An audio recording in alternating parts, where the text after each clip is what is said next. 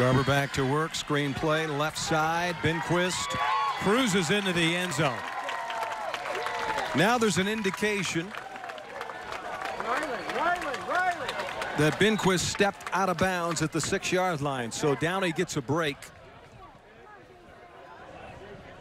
Then this one will come back to the six.